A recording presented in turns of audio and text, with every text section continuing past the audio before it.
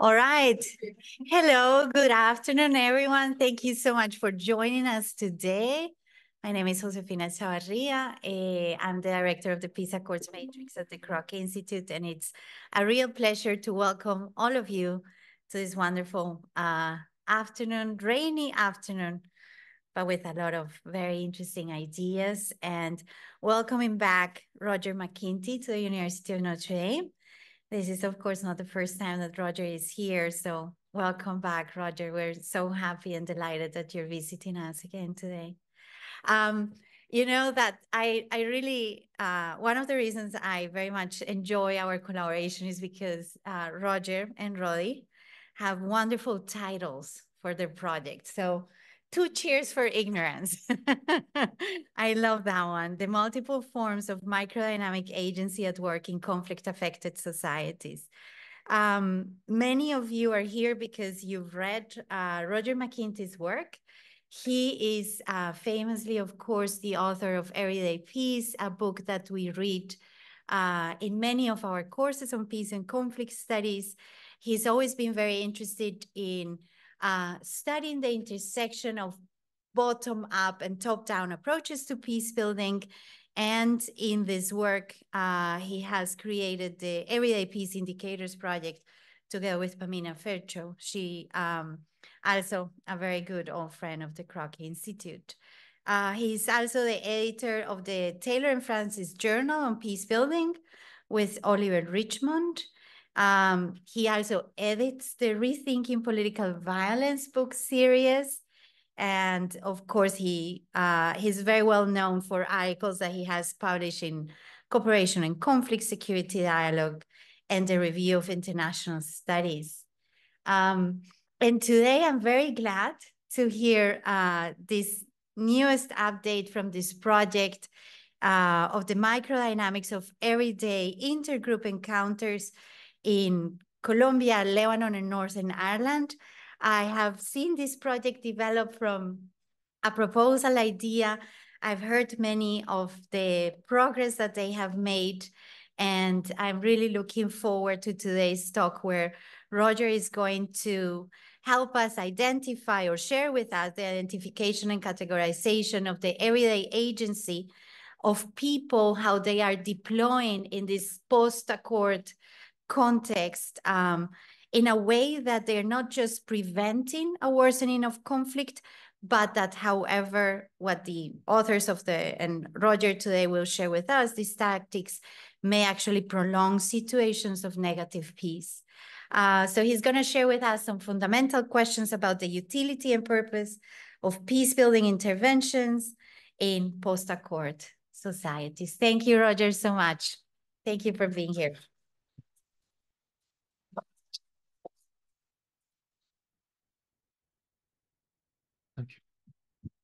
Uh, hello, everyone. Um, thank you very much for uh, coming. Um, I really only suggested that I would pop to Notre Dame um, because I was in Ohio to speak with my good friend um, Mad Half, and that suddenly became, would you give a paper? And even more weirdly, I'm going to class at 9.30 tomorrow morning with, with undergraduates. So uh, I, so I find my, myself here by, by accident, but thank you very much for, for coming. Um, and I particularly want to thank the Co Naughton Institute for Irish Studies and of course the Kroc Institute for International Peace Studies for extending the invitation. And it's extremely important in these days that we talk about peace uh, we can talk, and a lot of people do talk about war and conflict and security, um, but it's important that we also talk about peace. So I think this is a very important um, place on our planet. Okay, so for many years I've been um, writing about this concept of everyday peace, trying to work out what it means. Um, and many years ago, I wrote a journal article trying to scope out conceptually what everyday peace meant. And I came up with a typology of social practices that were linked with everyday peace. things like avoidance, ambiguity, ritualized politeness. And it was very much the sort of um, article that a sedentary academic uh, writes from the comfort of their desk. Uh, and albeit I was reflecting on, on, on my upbringing uh, in Northern Ireland, but at the same time it was conceptual. And I was very much interested in having been trained to the extent that anyone who has a PhD from the UK is trained, but as someone who, who came from an international relations background and therefore was interested or used to looking at states and institutions, I was increasingly interested actually in the local, in tactical agency, in the small acts that we engage in in terms of encounter between the in-group and the out-group in those social practices that people use uh, in everyday life. I was interested in the strategies used in encounter and how those conform to particular norms and how they were enacted and embodied in everyday life, in the most banal encounters in conflict affected societies. Those encounters that we all uh, engage in, you know, whether we're taking the kids to school or we're going to the store or we, we're getting medicine for, for granny. Um, th those are uh, activities of encounter with other people, but of course that encounter matters in conflict affected societies. And I became interested in, in the skill set that people had, this emotional intelligence, the ability to read a room, this hyper social awareness in which people uh, could really, really gauge the temperature about what was permissible and what was impermissible in particular circumstances. And much of that was about timing. When is the time to be quiet and when is the time uh, to speak? And I was interested very much in how the local received and resisted and endured um, top-down attempts to foster peace. Now, everything that, that we write is, I think, autobiogra autobiographical to some extent. And I come from Northern Ireland. I grew up during a, a, bitter but actually low intensity civil war. It cannot be mentioned in the same breath uh, uh, uh, as Ukraine or Yemen or Gaza or many other places. Uh, it, it, it was a very different sort of conflict, but at the same time, very bitter. And Google is a wonderful thing. And I found these, these two photographs. This um, photograph, my, my parents were storekeepers. They had a store. And this was the street where their, their store was. Um, and when I became interested in this issue of the everyday and trying to process, how did my parents bring up six kids reasonably normally? You know, the reasonable uh, is there uh, for a purpose. But you know, how did they do that? What were those strategies? What was the everyday diplomacy? How did they navigate life in a small town in which 50% of the population identified very differently um, politically uh, and, and in terms of, of uh, a religious identity? And then I discovered this other photograph. Um, and the photograph is significant from uh, uh, because of the buildings in the background.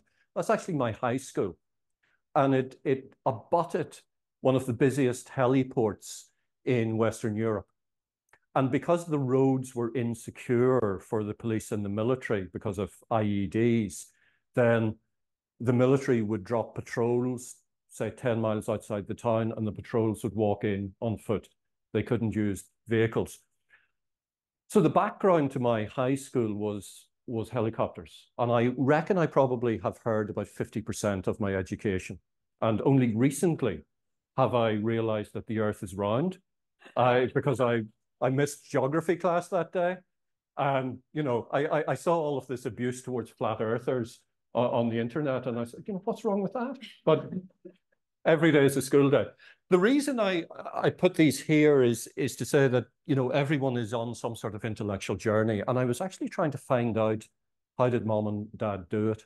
and the other moms and dads, uh, both where I come from, but also in many other conflict-affected societies. And in my case, of course, mom and dad weren't there to ask anymore, so I, I, I had to find other methods.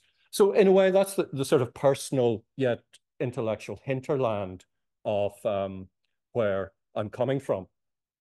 Now, yes, well known, probably owes money in this parish. Uh, um, so very fortunately, in collaboration with uh, Dr. Roddy Brett, who, who was here last year, um, we have been funded by the Economic uh, and Social Research Council in the UK uh, to investigate some of these um, these questions. And our project is called Getting On With It, the microdynamics of social relations in conflict-affected societies. And we've been incredibly fortunate to work with two wonderful postdoctoral researchers, uh, Clara Vavoy Casabo, who's based at Bristol with Roddy, and Tia Sagarian Dickey, who, who works in, in Durham with me. This is this project is sadly coming to an end, um, but it, has been great fun.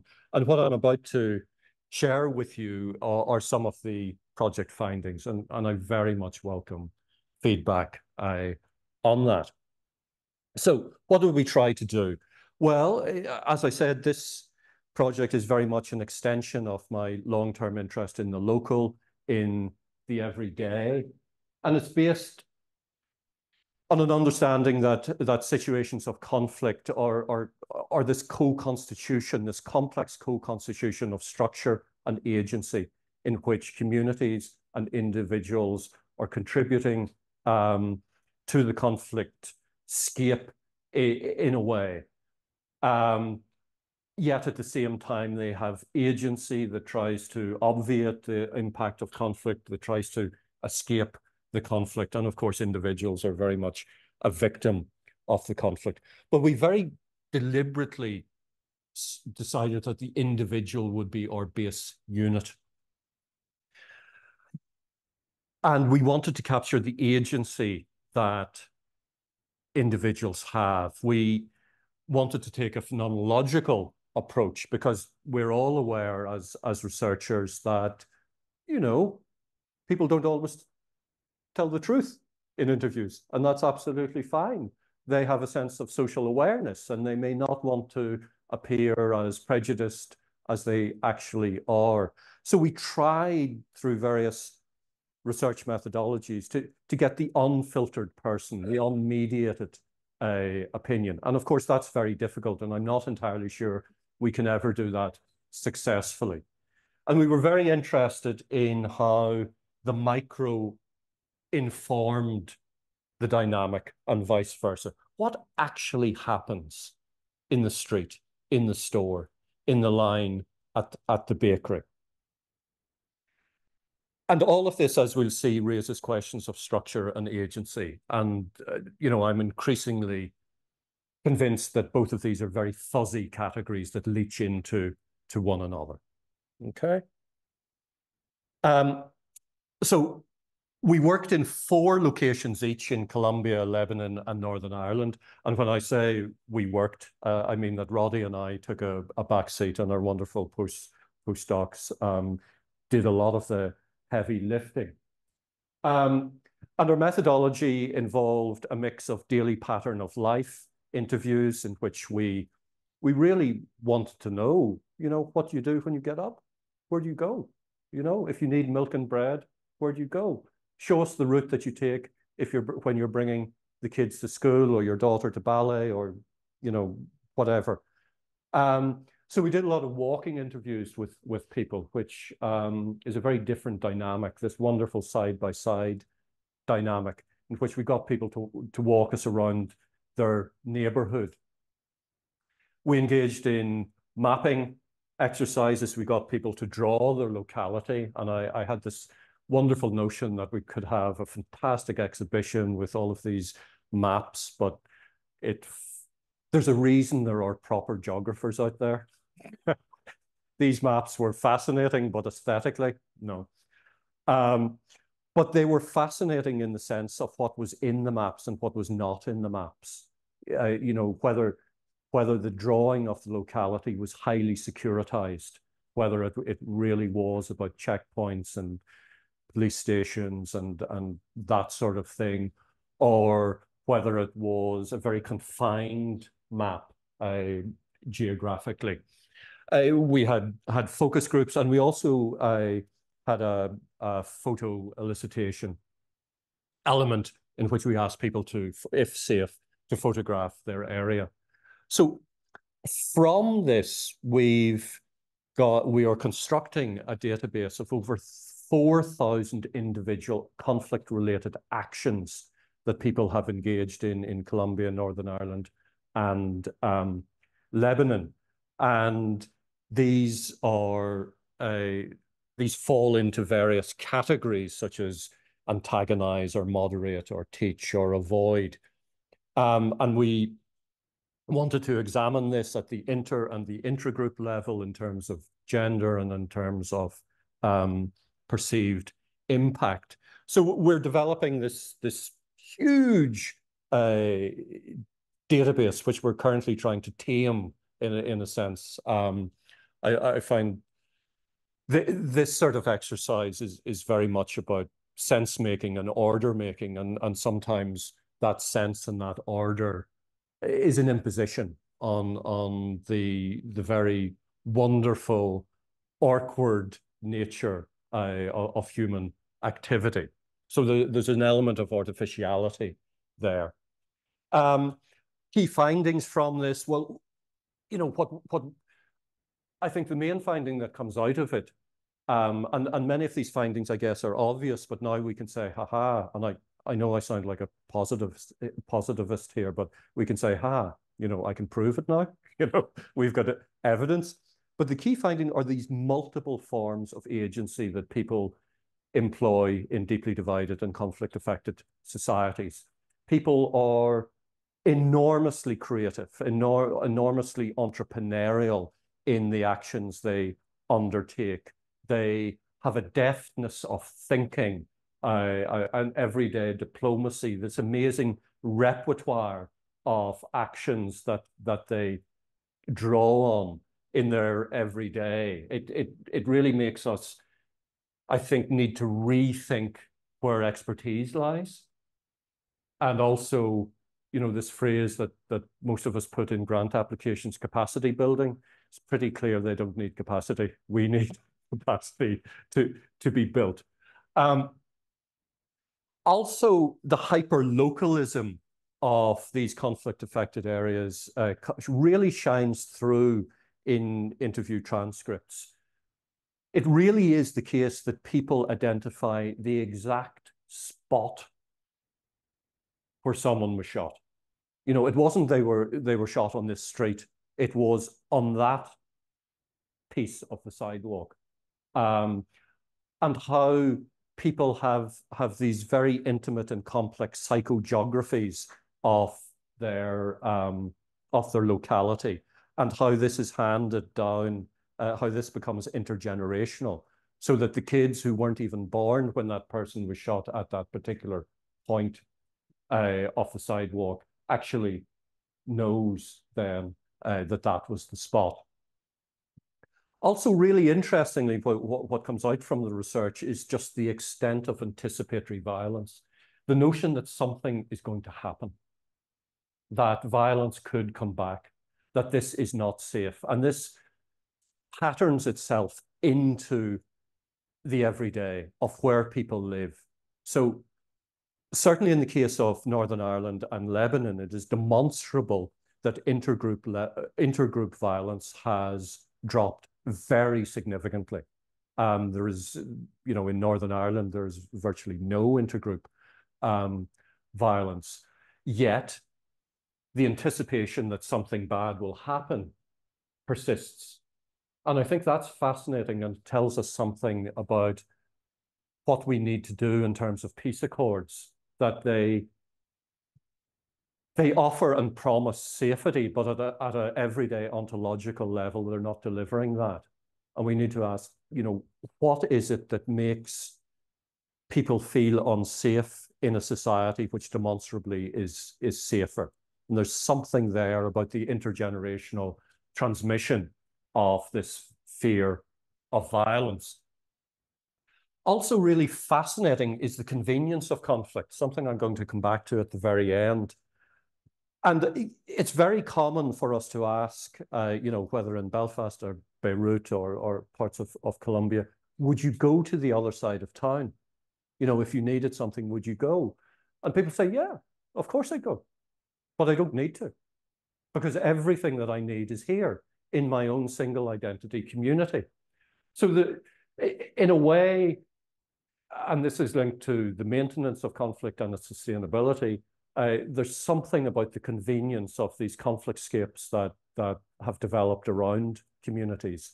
And those conflict scapes often are to do with convenience as much as they are to do with um, with violence or opposition to to the other.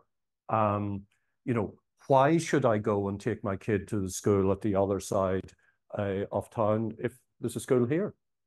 Um, and you know, that's a very good question. Think about our own lives, which are hugely based on, on convenience most of the time. You know, we all have particular networks that, that are routes that, that we follow. Um, and uh, another key finding is, is, is the huge ability of people to simultaneously inhabit multiple life worlds. For people to simultaneously, in terms of time, to be in a life world that is clearly in the present, but looking at both the past and the future at the same time. It's a remarkable ability that humans have.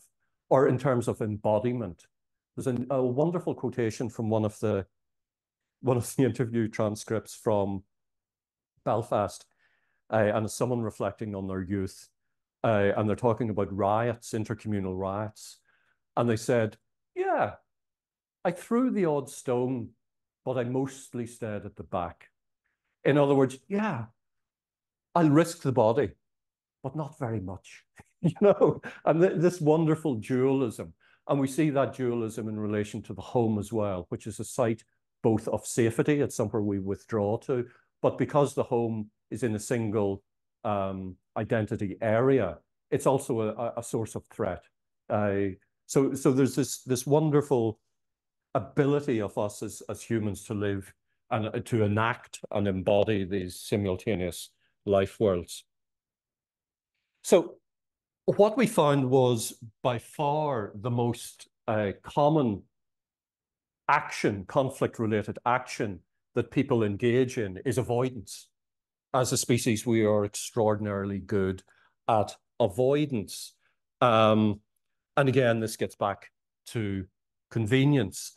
And we uh, avoid individuals and groups and places and situations. And as part of the calculus, it becomes implicit. It becomes, in a sense, unconscious.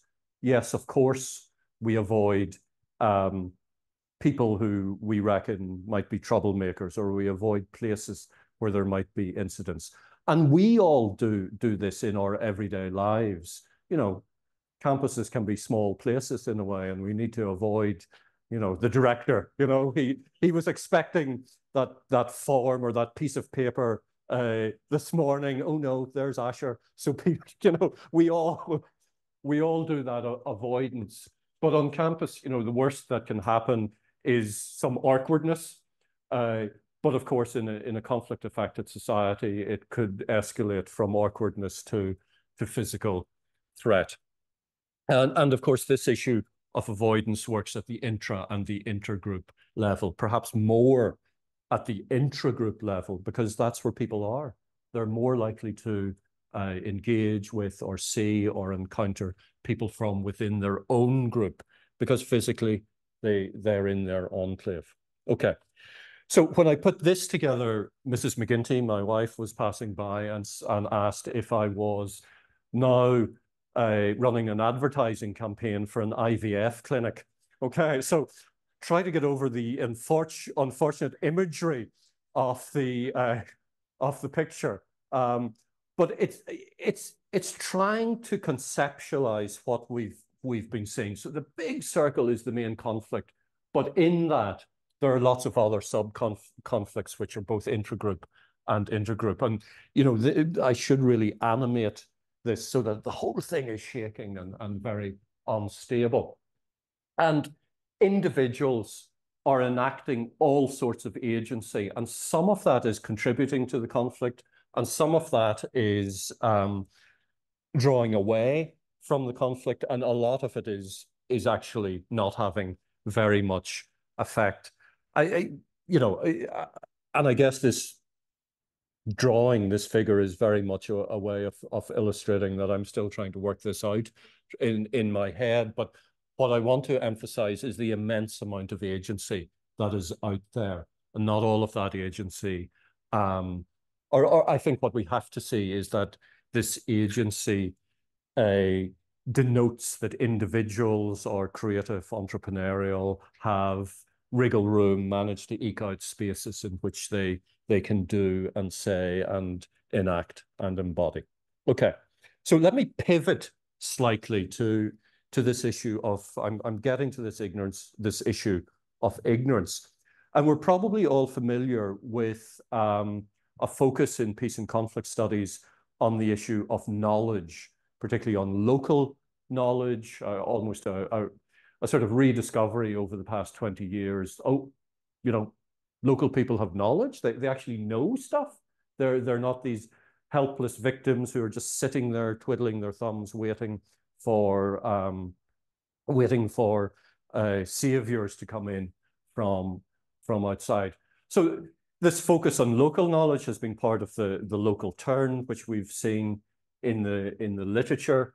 Um, and there has been, I think, an increasing recognition of the complexities of, of knowledge, of how these are complex assemblages in which there are hierarchies, in which knowledge is marbled with power, and some people have more power than others, and therefore they can say that their knowledge is um, has more legitimacy, has more authenticity, etc. And uh, there's a marvelous phrase uh, of the of the moral techno power of, of knowledge. And we can see that, I think, in relation to a lot of international interveners who become this one-stop shop in which they identify the problem, they identify the solution, and hey presto, they just happen to be the solution as, as well. And this is usually all wrapped up in a sort of moral coda, uh, which simplifies everything into good guys and bad guys and, you know, right and wrong.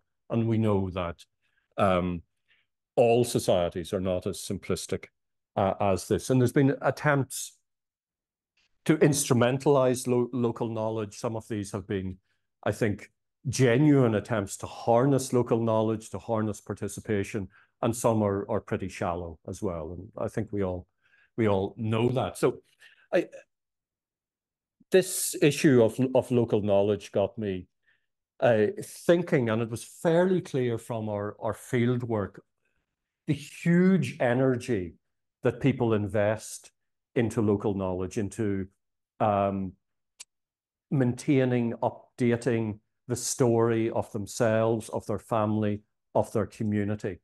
It takes an enormous amount of energy. It, it's almost like a, a database that people are constantly working on, you know, and you, you speak to someone who spent a day coding and they're exhausted and washed out.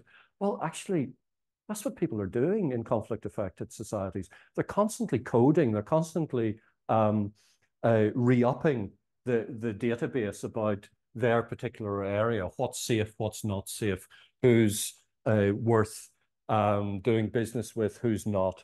And th these complex assemblages of knowledge clearly work at the intra and the intergroup level. And they're all part of this everyday situational awareness in which people are constantly intelligence gathering what's safe, what's not safe, what's permissible, what's not permissible. So it's this sort of chronic uh, activity, this necessary activity that is exhausting. It's absolutely exhausting because the conflicts that we're looking at in, in Colombia, Northern Ireland, and Lebanon these are multi-generational conflicts that have been going on for, for decades in which, you know, a new generation is freighted with the knowledge uh, that has been passed on to them from a previous generation. Um, but all of this interest in knowledge got me thinking about ignorance. And I'm aware, I, mean, every day is a school day. And I thought, oh, ignorance. No one's really worked on, on ignorance uh, until I found out that there was a Routledge handbook on ignorance studies. And apparently it's a big thing in economics and it's a big thing in, um, in sociology. Uh, so, uh, but as far as I know, people have not, uh, there, there is writing on ignorance in relation to conflict uh, and, and peace, but, but not a, a typology of that. And I think it's possible to disaggregate between different types of ignorance, between the unconscious memory lapses and lack of knowledge on the one hand, and deliberately deployed ignorance. And that's the bit that got me. That's the bit that I thought, oh, that's interesting. So if, if you conduct interview research and you then read over the transcript, it's remarkable how interviews are full of, I don't know, mm, I forget, I, I really don't remember. Oh, you need to ask my brother about that. It's really remarkable, particularly with these long-running conflicts. There's a good deal of of ignorance in, in, in our daily pattern of, of speech. But that's the unconscious um, sort of, of memory lapse. Um, and, I, you know, I'm, I'm conscious that I'm in the same room as Madhav, who puts together very sophisticated figures and graphs and all of the rest. So I apologize for, for the crude nature of, of this. But what's in, so this are different types, merely, it's not frequency, it's merely different types of ignorance that we find um, in our data. So there will be other types of ignorance in conflict affected uh, areas, but these are the types that we have found in our research. So clearly poor memory, but also, you know, kids are of a different generation and they, they don't want mom and dad's conflict or the grandparents' conflict. They're just not not interested and they make a conscious decision that this stuff isn't for me. Or what we find quite often is incorrect group identification. So if you come from a conflict affected area, you pride yourself in sort of knowing the outgroup. You can tell, yeah, they're a Protestant or they're Sunni.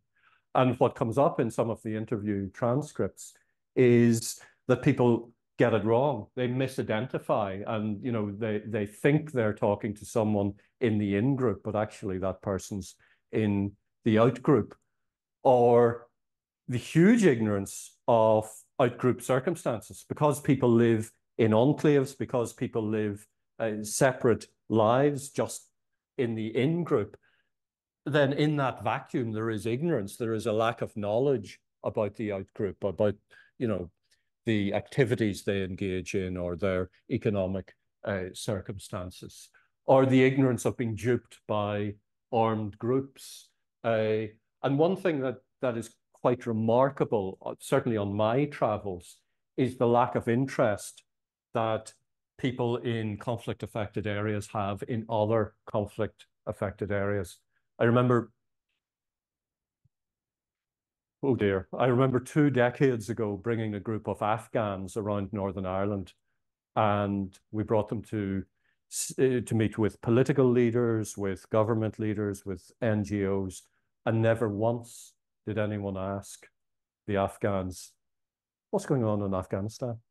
And, you know, these people were coming from the most interesting place on the planet. Um, so there is an insularity. Uh, and also there can be sort of weird conspiracy theories floating around about, you know, there are unseen forces manipulating the conflict. So what's significant about all of this is this is unconscious, or most of these are unconscious types of ignorance or, or not knowing. But then contrast this with these types of ignorance, which are all conscious, which are all deliberately deployed and that's what I mean about this creativity, this entrepreneurialism, this repertoire of um, a, of social practices. So we have things such as Um, don't share information with family members to avoid hassle or to protect them. So, for example, if you're in some parts of Colombia and you work as a human rights defender, it might be better if mom and dad don't know for their own safety, for their own comfort. I, that's a deliberately deployed sort of ignorance. Um, a very common one, uh, you pretend to know nothing. Uh, you didn't see it uh, because it's easier that way. You don't want to get into trouble.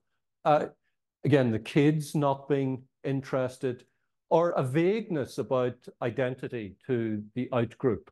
Um, we've, you know, we all go to Starbucks. Uh, they ask the name, they write it on, on the mug. In particular times in Belfast, if your name is identified as one group or another, you're going to be John.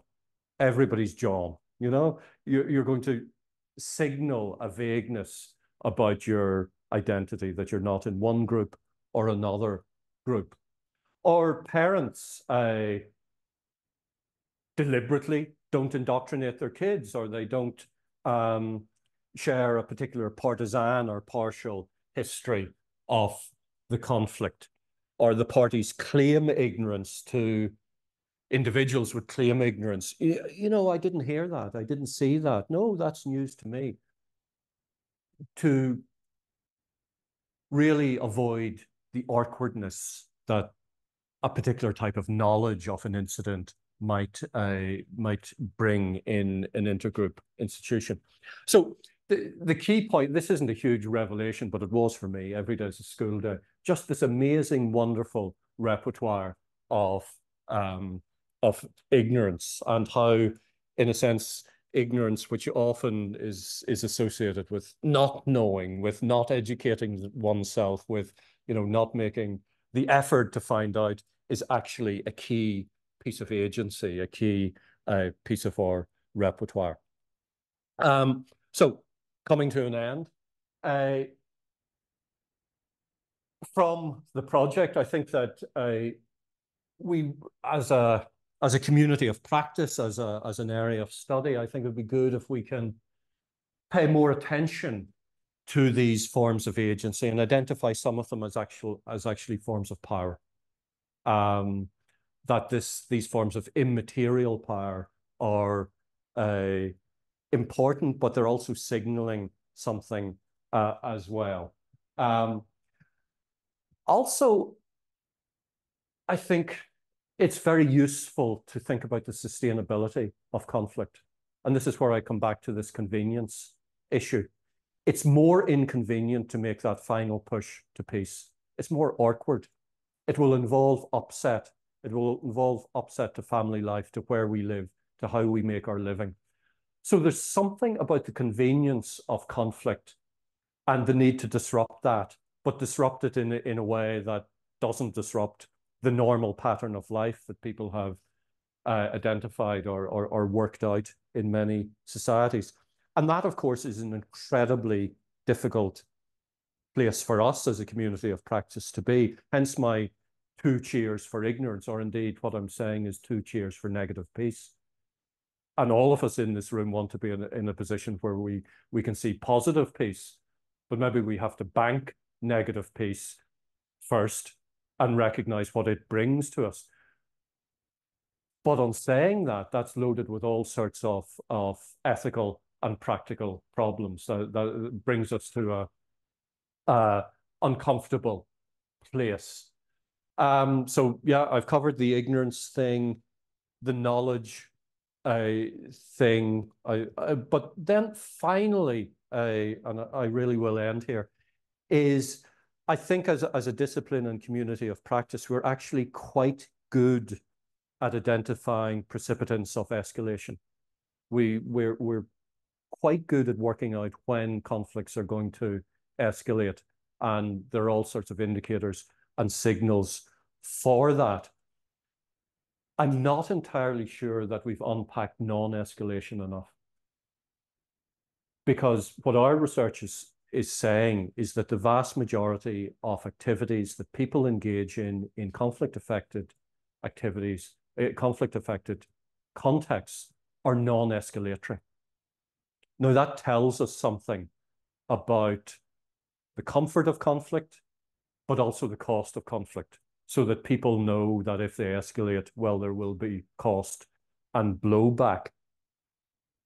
And there's something else as well. And if you think about, and I'm, I'm very indebted to Roddy Brett for this line of thinking, if you think about particularly Lebanon and Northern Ireland, well, the armed actors have largely stepped back.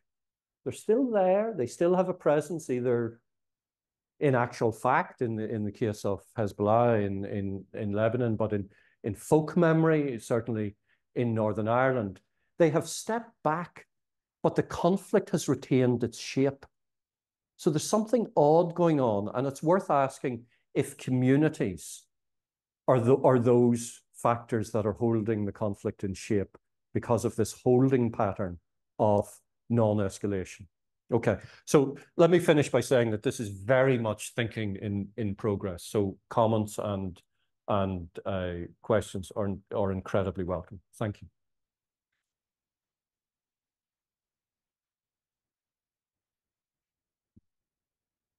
Thank you so much, Roger. Thank you very much for your um, for this presentation, so vivid and so interesting. We have like around 40 minutes for questions and answers of the public. We generally at the Kroc Institute, we try to give uh, students the possibility to ask questions first, but well, I find out to my horror that some some students are here because they're getting credit, uh, rather than really, really wanting to be here. So those are the students that I really want to hear from, you know, the sort of, can you repeat the entire thing? I wasn't listening.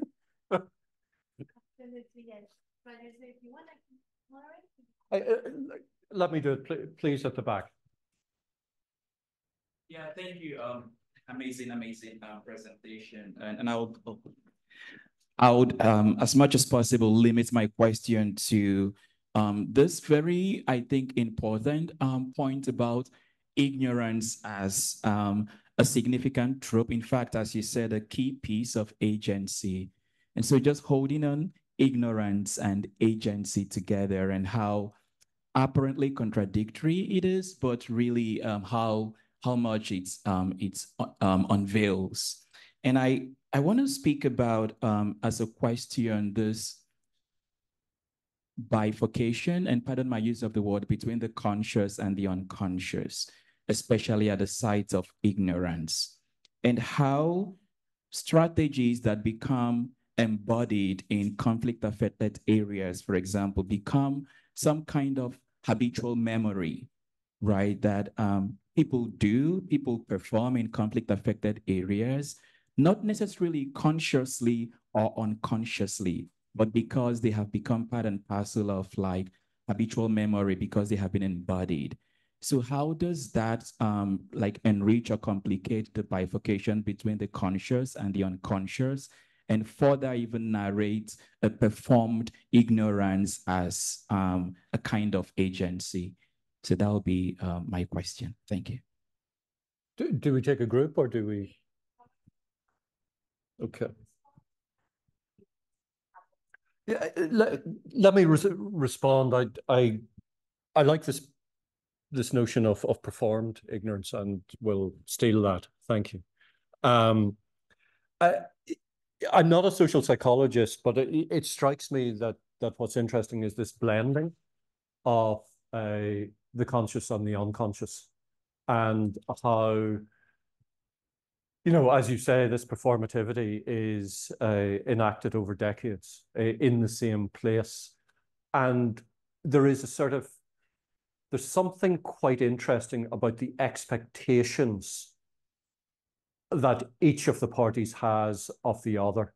And, you know, as someone who doesn't live in this landmass, let me give you an example. When I come to this landmass, I'm usually going to university towns or, or cities and I go to a, a diner or a restaurant and I often order the most unhealthy thing on the on the menu. And the waiting staff are always uh, students and they're extraordinarily, you know, lithe and sporty and all of the rest. And I order this burger with, you know, all, everything. And they say, great choice. That's my favorite. This is a person who has never eaten a trans fat in their life. they're lying. I know they're lying. They know that I know they're lying, but we're all in on the game. And I think in you know, and and that's a that's a non-contentious social situation. But I think in deeply divided societies, there is this performativity, this ritualized politeness in which people um, conform to expected roles, to almost scripted roles, although the, the script isn't written, but the script is known. Um, and there's something there about how we unconsciously lapse into that script because it's a safe place, because it will get us, it will obviate any awkwardness, it will um, maintain good relations, and both parties can walk walk away. Um, you know, there's a a saying from Northern Ireland from the the poet Seamus Heaney: "Whatever you say, say nothing," which means that people talk incessantly about the weather, but not the elephant in in the room. So, yeah, uh, thank you for the question. Um, Ben, please. Thank you, and uh, thank you very much for a super interesting presentation and a, a lot to think about. I, I, wondered in in this uh, sort of really detailed, rich data set that, that you've collected across the three countries, um, if there are any clues or insights or any reflections you have as to who chooses these strategies of ignorance? Because that's especially for the conscious ignorance it seems to me that's what they are. They're, they're strategies um, of, of non-escalation as you said. Um, because uh, uh, just reflecting anecdotally on my own experience of living in conflict affected contexts there are some people who do choose these strategies more than others right? And and the the difference in that choice can contribute to some of the intra-group tension um, as to you know who is performing their ignorance and who isn't. Um, and so I wondered if you had any any reflections on on on that aspect. Okay. Uh, maybe I'll I'll take another question, uh, which is the strategy of someone who is trying desperately to think of the answer to the current question. The, the someone at the front, please.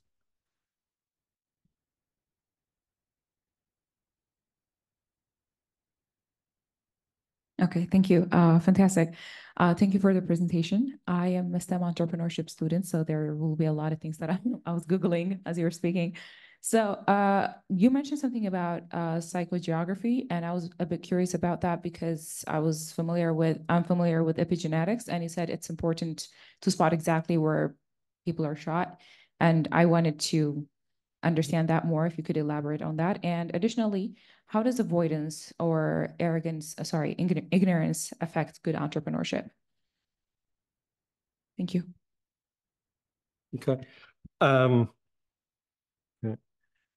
Uh, ben, who, who chooses um, to deploy these particular social practices uh, like ignorance, but, but like avoidance and and and others? Um, we the nature of the research was we we really wanted to uh, to focus on individuals. We wanted to focus on daily pattern of life, and therefore people gave us quite uh, everyday, highly local um, views. So they there wasn't because of the way because of what we were trying to get at. We didn't ask many questions about um, you know elite level politics, about party leaders. That came up. So it was pretty clear that families are absolutely crucial in, in all of this. And family, in many ways, is the most important political party any of us will ever be a member of, because that's where most of us or many of us get our political compass and our, our moral, moral compass. So it, it was very clear in a lot of these uh, daily pattern of life histories or, or, or, or um, uh, interview transcripts the extent to which the family, you know, a family member did that and others followed suit. Um, so, or the extent to which it was highly localized. So if people were living in a in a housing project, there were these sort of charismatic individuals who operated at a layer below formally organized civil society. They weren't civil society organizations. They were civil society. There's an important difference. Um, and they were, in a sense, de facto or informal community leaders. They were people who um, who took bold moves, either escalatory or or or de-escalatory, and others followed suit. There were these sort of big characters in a way, and you know, and we all know that in in our everyday lives. So those were the were were the um, in a sense the the notable characters in in in these stories, but also very clearly, all of this is marbled with intersectionality. Gender and class and ability or disability really matter in all of this, in which you know the middle classes can buy themselves out of an enclave into a nicer enclave, a gated community, um, or, or uh, issues of gender meant that encounter and indeed the expectation, the social expectations attached to particular uh, genders were, were very noticeable. Um, I just have to remind myself of, of your question. The, the, issue, the issue of psychogeography, I,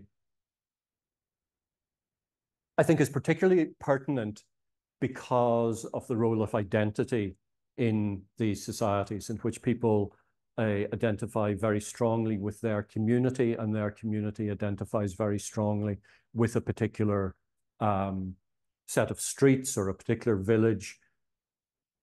And this was highly localized, um, which other research, the, the everyday peace indicators research that I've, I've conducted also confirms that, that people often think in very much in terms of the immediate vicinity of the home. You know, actually quite a quite a small neighborhood rather than an extensive one.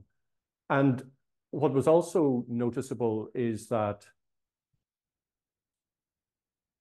these psychogeographies are intergenerational or passed on. There's a wonderful scene. I don't know if anyone has seen. It's on Netflix. It's called Derry Girls. It's it purports to be fiction. It's not. It's a documentary. Okay. It, it is utterly, utterly true to life. Even I actually lived in Derry at the time it's set, and it, you know, down to the hairstyles of the girls.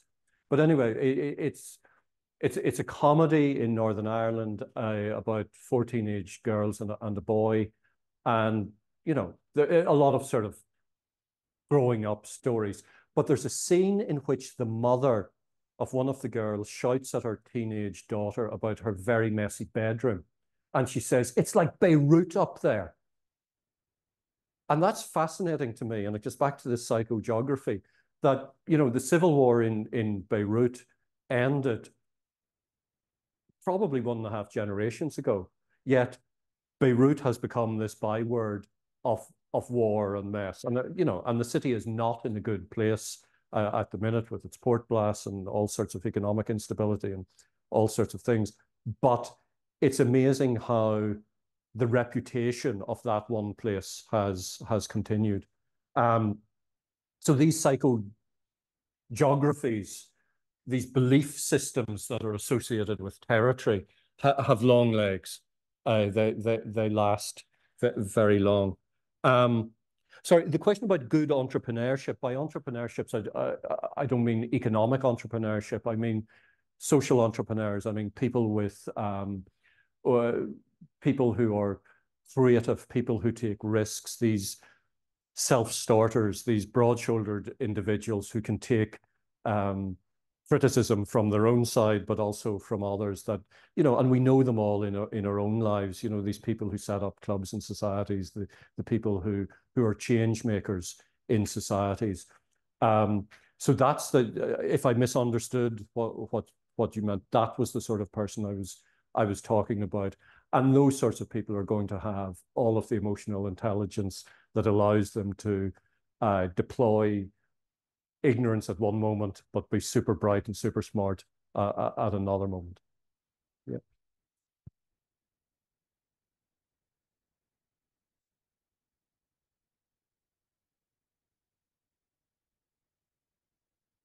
Hi, thank you for your presentation. I am reading from my exams on ignorance, so very excited about this topic as well. I'm wondering if in your data as you have it now, if you have a little bit more information about the practice or performance of ignorance of when it is um, of how can it be or not be violent in particular context if you have seen that and maybe that's also a little bit goes into ben's question of who practices it but more interested in this uh, the practice or performance of ignorance how does power affect it or not in your particular um, situations um, and the other question i have is uh, is this salient in people's conceptions about themselves or subjectivities or identity formation in the data that you have now? Hmm. So a very good question. The the um question about power and ignorance is is very important and very very interesting because you know different individuals, different communities will have have different levels of power at their disposal, but also different types of power. So some people might have more material power than immaterial power or or vice versa. You know, there are plenty of cases of willful ignorance. You know, the the the the uh, you know, and we, we see this in many conflict affected uh, societies in which some individuals deny um, rights or, or, or indeed a, a, sense of identity to, to others. And, and that's clearly the mobilization of ignorance in a, in a very escalatory and, and uh, willful way. Plenty of examples of, of, of that, I'm afraid, um, in which it's, it's consciously deployed. But, but what interested me was that there are quite a few examples where it's non-escalatory. And, and that, to me, that, you know, I hadn't thought about that before. Um, and, and then the extent to which people are are sort of conscious of its of its salience. This is one of those things that has struck me after we've concluded the data gathering, and I'd, you know, I would love to go back and say, you know, who you said you don't know or you don't remember. Did you really not know, and did you really not remember, or are you just telling me that? I, so it's a genuine, um, I'm not sure, uh, answer uh, to that. I think that so much of this actually is unconscious, but um, lots of it, as I, as I hope to, to have shown, is conscious and, and in a sense salient as part of people's navigation through the awkwardness of everyday life. What's the name? No, answer. And then we avoid my questions to the director. Unless there is a student here behind. I have many questions. I'll ask. I'll ask uh, two uh, questions or comment. One, one uh, first is uh, you mentioned the issue of maps. It reminded me of research that I know of with regards to Israel Palestine, where Israelis and Palestinians were asked to draw a map of the land and they drew mental maps that had no relations to reality.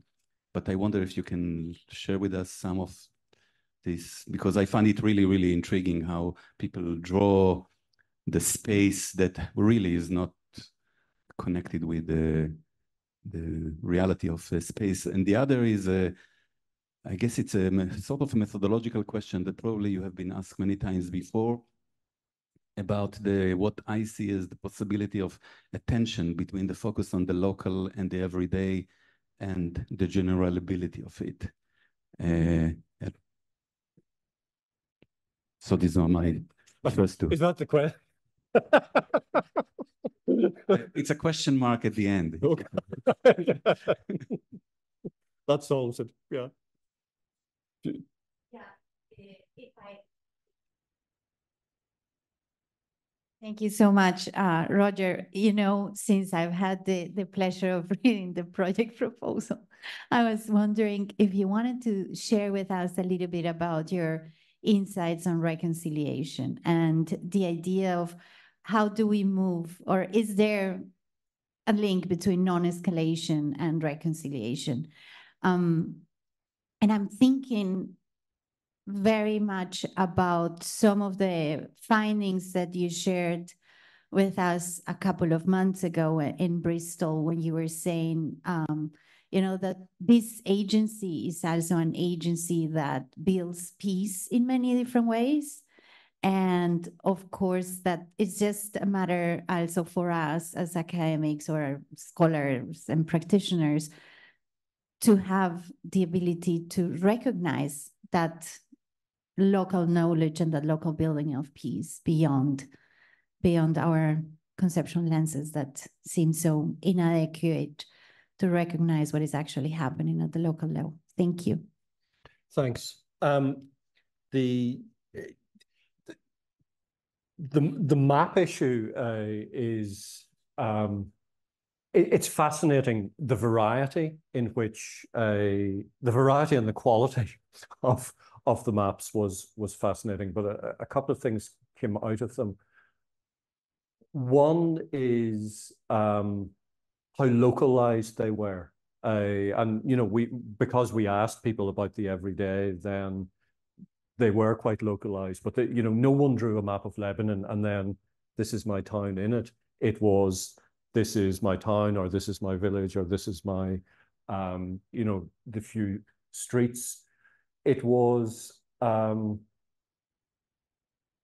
I think it was quite revealing about how we live lives according to particular routes. Uh, you know, all of us do that, but how many of these routes were routes of avoidance um, in particular places. So people took, you know, these weird elongated routes. You know, the nearest shop was here or store was here to get milk or bread, but they traveled twice the distance because they they didn't want to go to a, an area controlled by the outgroup. So so the maps were were distorted, um, as indeed you know our, our, own geographies are distorted. And you know when you think about it, a you know in in in many in many cities on this landmass, people would live in the city but never go to a particular area because you know they don't live there, they don't know anyone there.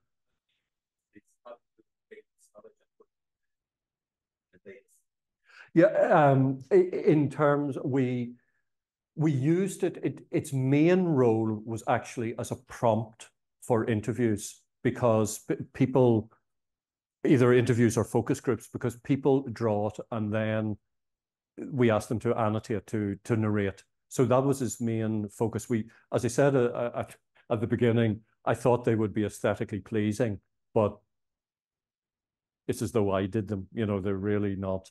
Um, I, so that was their main purpose actually, and it it worked particularly well because people then had to had to explain these anomalies about what you know the center of town was here, but actually they, you know, they did a lot of their business or they sent their school there, and people were were very pleased. It, it was such a good prompt. People were very pleased when you asked questions. Uh, you know, why is you know, why is the biggest building in the town the military barracks or or the police station? You know, rather than demonstrably the biggest building, which is the town hall or a, a block of flats. So it was, it it mainly was was a prompt, and and there's something, and I've noticed it over many many years. There is something quite amazing when you give fully grown adults large pieces of paper and marker pens, and it it it opens up a new research space.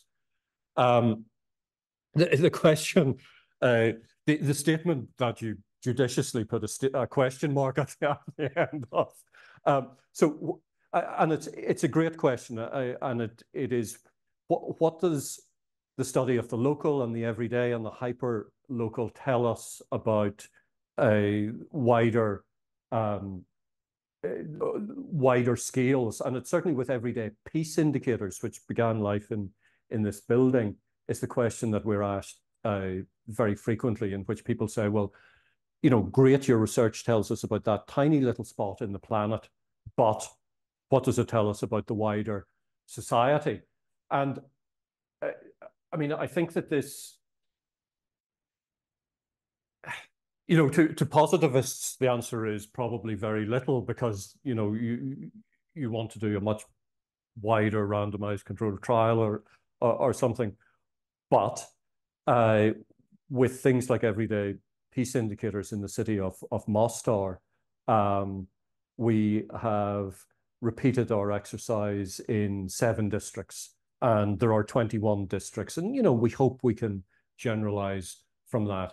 But it raises these important questions about structure and agency it, and the extent to which individuals are, uh, in a sense, victims of or pawns of their own, uh, of the structures they find themselves in, or they're co-constitutive of it. And I think that um, there are always going to be these localized peculiarities. But if you then, with the data set, put them into categories, well, then those categories are, are, are quite broad enough that actually this action that we found in a town in Colombia is is very similar to one that we found in in Northern Ireland, etc. So by you know by building a, a code book in a way is a very uncomfortable act of playing God and and sense making. But that's where you can see patterns that that factor up. And uh, just to finish uh, that answer, one thing that I, I've I've sort of noticed, and I, I've learned very much from John Paul Lederach on this, who obviously has a has a great history here, is the policy world obsession with factoring up. And actually, I think the real story we need to be looking at is factoring out, because so much non-escalatory and de-escalatory activity eh, is imitative, happens uh, horizontally, and that, in a sense, is what, in a way, I, I think de-escalates or, or, or spreads non-escalation. The danger is that things that work at the hyper-local level, if they are, are modeled and factored up, they lose the very organic qualities that made them work in the first place. Um, so I think we can tell a lot about about the local, but with lots of of caveats.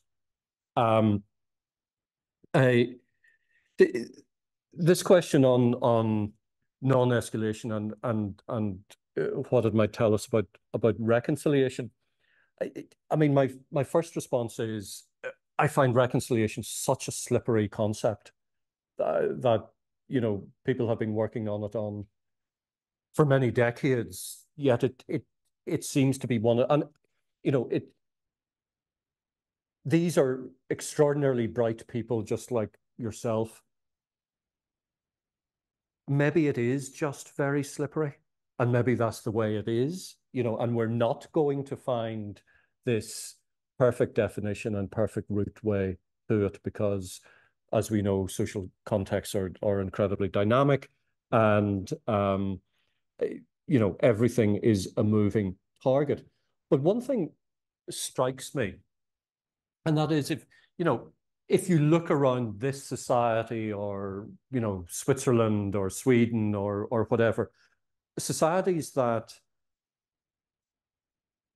in our literature are not necessarily linked with conflict scratch the surface, and I don't need to tell you about the toxicity of, of politics in, in this society. I don't need to tell you about the vast um, conflict, uh, about the, you know, the, the inequalities, etc. But, you know, Sweden with the hollowing out of the welfare state and um, a actually quite significant gang violence.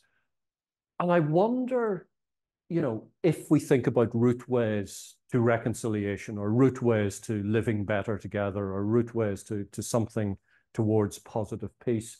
It's worth reminding ourselves about societies like this or, or Canada or, or, or Norway or whatever and asking, is this as good as it gets?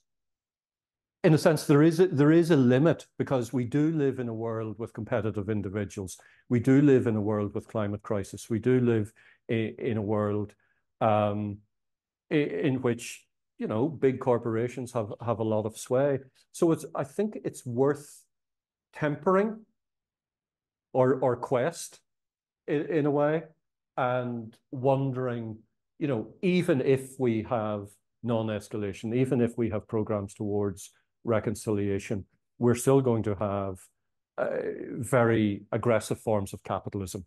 We're going to have um, a climate crisis, etc. So I, I, I think that's a debate that that we haven't quite had in our field, because if our starting point for a debate is reconciliation, we need, I think we need to temper those those debates. Yeah. Please.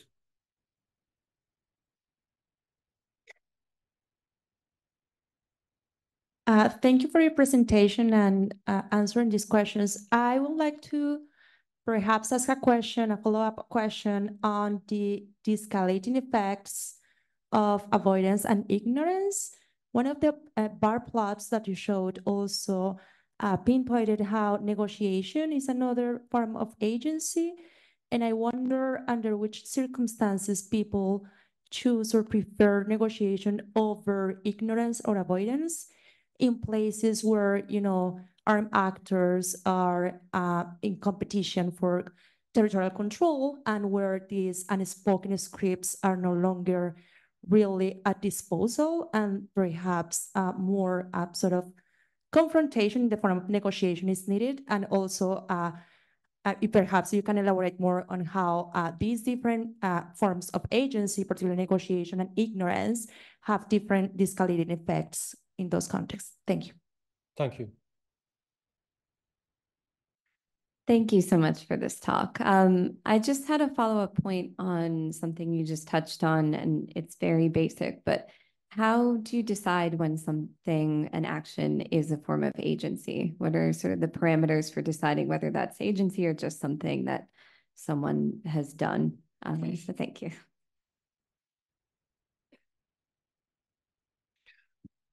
Uh, great. Um, really good question about about negotiation. When do people decide? Well, the I think a key point is that often there are situations in in which people don't have agency. They they don't have a choice. If you're in a particular barrio in in Colombia and you need to go to the one next door to because the pharmacy is there, you have to negotiate uh, with with quite literally the gatekeepers um, to to go there. So it it depends very much on what level of power, on circumstances. You know, th this is a very moving, um, a very dynamic consequence or, or, or, or set of consequences.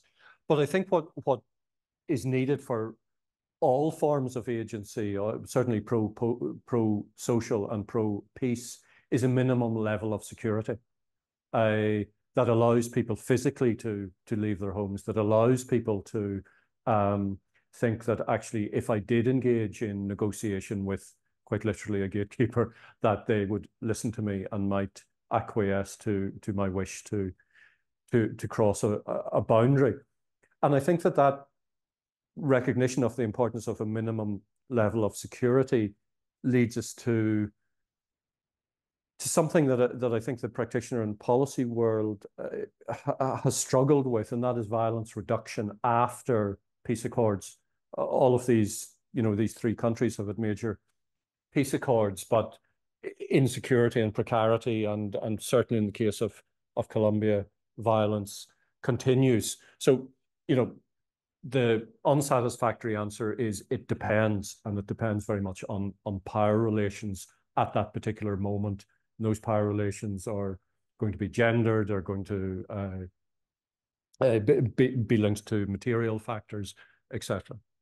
Um, yeah, how do we work out what, what's agency?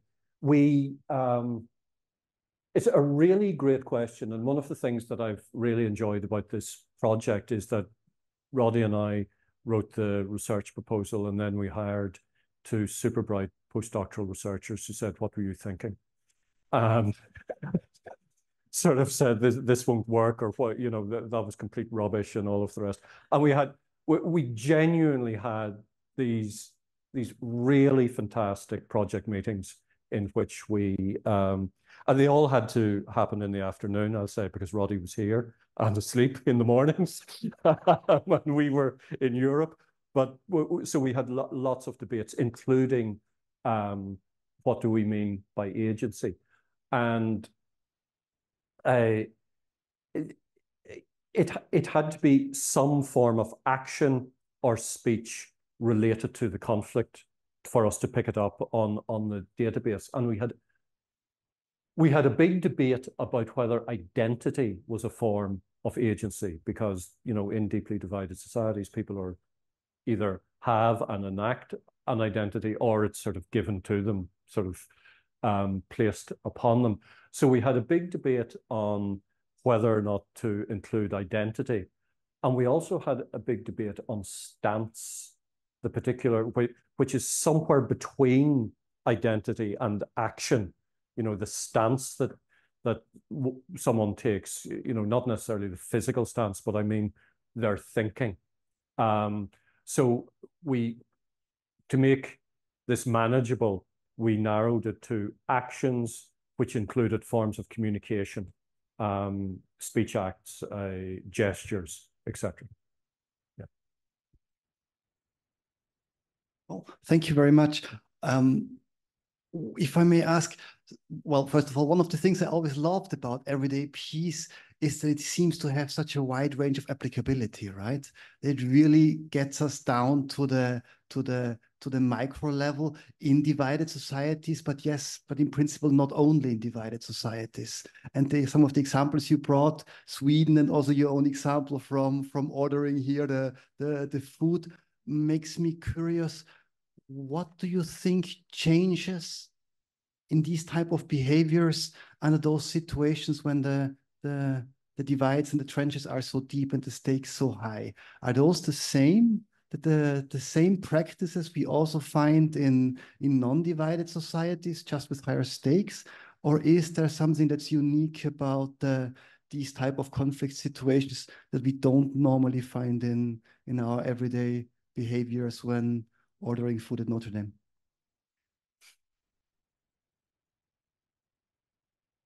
Uh, thank you. I, I want to pick up on this. Um, Roger, thank you for your fascinating presentation. My question is similar to Norbert's, and it's really about scope conditioning here. When you talk about a conflict-affected society, what is that thing? You, you've used as a synonym deeply divided. And then Sweden clearly is not part of, it doesn't fall within the scope of your, your idea of a conflict affected society, but surely it does. Surely it depends on who you are. It depends on your identity and your group.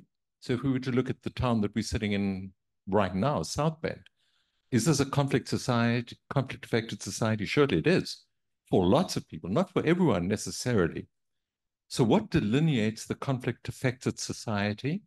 It seems from your choice of cases, you're looking at post-armed conflict or post-violent conflict maybe a decade or two decades after the signing of some kind of peace agreement.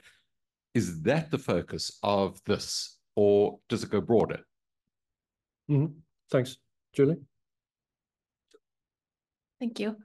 Um, I've been thinking about sort of the spectrums that are implicated here. You've mentioned the agency to structure, but also inherently the kind of micro onwards to meso and maybe to macro. And I was struck by your differentiation of civil society and civil society organizations, which is a clear differentialization.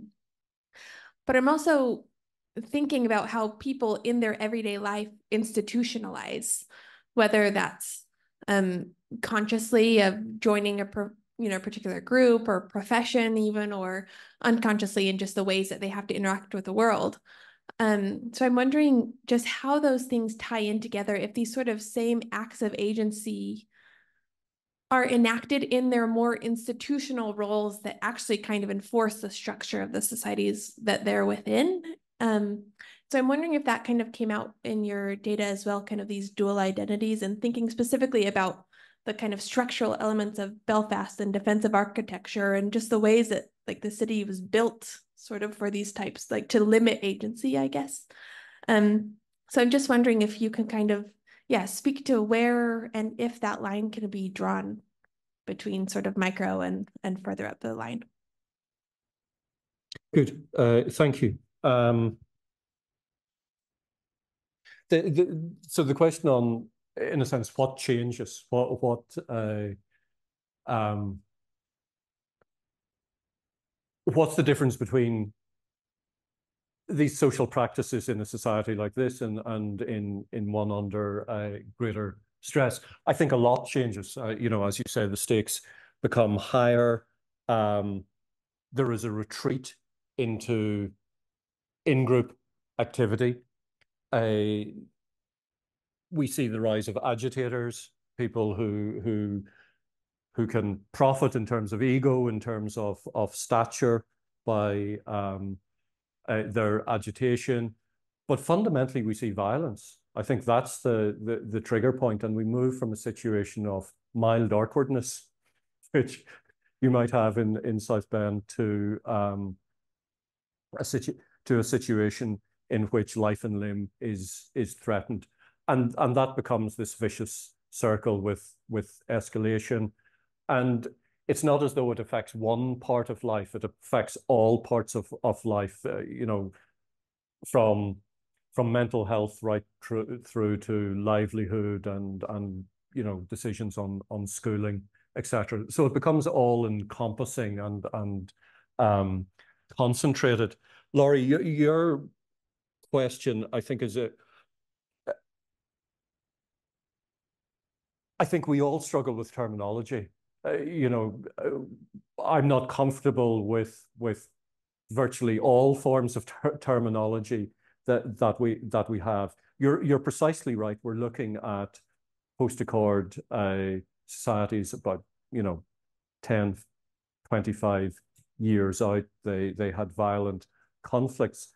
But at the same time, you know, there's a lot of our language that that we use as shorthand to move on, but actually it's not accurate.